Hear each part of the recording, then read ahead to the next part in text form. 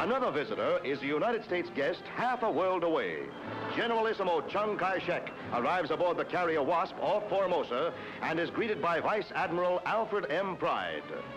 A Marine Guard presents arms as the 67-year-old head of the Republic of China inspects the flight deck. From the bridge, the Generalissimo watches the Wasp launch her mighty sting. A famous soldier sees American defense on guard.